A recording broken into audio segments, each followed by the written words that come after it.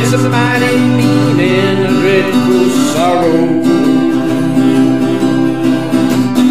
It's crossed the evil line today. How can you ask about tomorrow?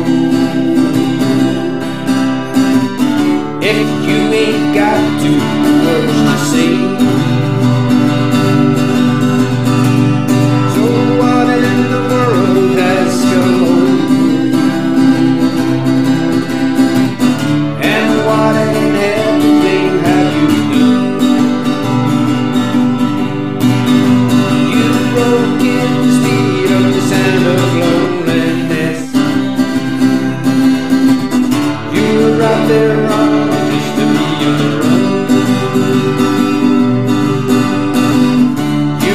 nothing wrong just to be